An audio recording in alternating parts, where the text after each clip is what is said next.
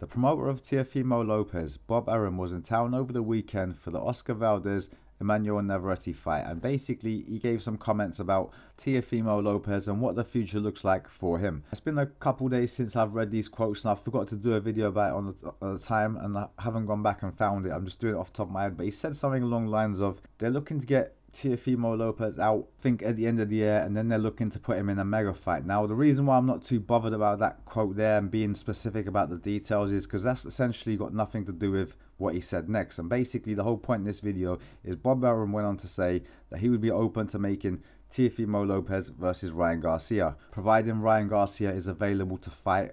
Obviously, Ryan Garcia may have some promotional issues going on in the background. It's no secret that him and Oscar De La Hoya have sort of gone back and forth over social media. So there may be some legal stuff going on in the background which may prevent the fight from happening. But if Oscar is still representing him and it is available, like Ryan is available to make a fight with Teofimo Lopez, Bob Arum is open to exploring that fight. He also mentioned that he's good friends with Oscar De La Hoya and some other guy that works at Golden Boy. Essentially what he's saying when you read between the lines is it's not a hard fight to make providing the diva is available to fight essentially. That's what he's saying and that's basically what it is. So subject to ryan garcia's availability or you know lack of lawsuits or whatever the fight can be made and bob arum be open to making it. I think oscar de la hoya as well he would probably be open to making the fight as well. I would imagine that ryan garcia would probably have a run out himself maybe end of the year and then early next year they'll get together and maybe try and make this fight providing like they can if you know what i mean.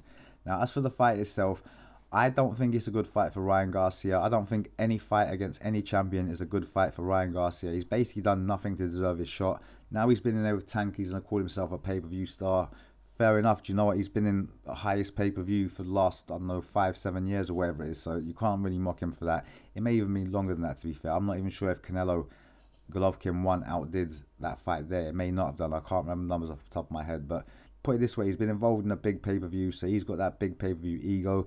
Teofimo Lopez hasn't really been involved in a big pay-per-view or any pay-per-views, if I'm not mistaken. I don't think he's a pay-per-view fighter yet. And with that being said, I don't think Ryan Garcia can do a pay-per-view at 140 without Teofimo Lopez, if you know what I mean. So Teofimo Lopez is probably the only guy that can bring Ryan Garcia a massive payday and Teofimo Lopez's team are open to making that fight with Ryan Garcia, aka El Diva. Now the question is, is it a 50-50 fight in terms of split? I think Ryan Garcia and that will try and get the lion's share if I'm not mistaken, but at the same time Teofimo does have the belt, he does have a bit of a following himself, and without him it's not a pay-per-view fight. Like Ryan Garcia isn't I mean, even though he is a pay-per-view fighter, and now officially he was involved in that big pay-per-view, you put him in against Matias, Subriel Matias, it's not a pay-per-view fight in my opinion. You put him against Regis Prograis, it's not a pay-per-view fight in my opinion. The only fight that would be considered a pay-per-view at that weight, in my opinion, is Teofimo Lopez. So if they want the big bucks, they're going to have to sort of negotiate and find a way to get this fight done. I think just do 50-50. That way everyone eats, everyone wins, apart from the guy who loses the fight on the night. But other than that, profile-wise, money-wise, he'll win as well. So it's all good. I think that's what I need to go for. I do like this fight. It's a fight that I sort of champion. I do want to see.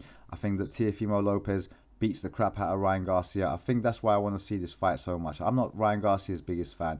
I think he's a diva. I think he quit in his previous fight. Uh, he's had like tantrums on social media. He spits his dummy out all the time not not for me. Like if he was to do all that on the outside and then deliver inside the ring, it's a different proposition. It's a different conversation. I'd resentfully, I'd respect him, but he's not delivering. He's just acting out most of the time, and I have I find that hard to respect. I say if he was knocking people out and then acting a fool, fair enough. Do you know what? You do what you got to do until someone beats you and hands your ass to you. I can't say anything. But the fact that he's just been whooped and he quit and on top of that, he's going on diva-ish. Doesn't really work for me, but it is what it is. So I got Teofimo Lopez as a heavy favourite for that fight should they make it. I think Teofimo Lopez beats him, schools him, and knocks him out in spectacular fashion. I don't think like Ryan Garcia gets in the fight at all. People are like, oh, hand speed, this. Where was all that stuff you guys are talking about? Where was all that in the tank fight? And Tank's a smaller guy, so if you can't really put a dent in Tank, you're not really going to put a dent in Teofimo Lopez. I think Teofimo Lopez batters him, beats him up, takes his soul, and goes on to bigger and better things.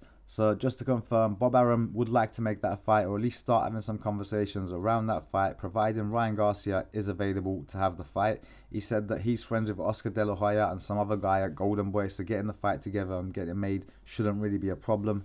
And I'm for it. I hope they make this fight. And my reason being is I just want Teofimo Lopez to smash Ryan Garcia's face in. That's basically the bottom line. It is what it is. Like, comment, share, subscribe, or don't. I'll catch you on next one. Love.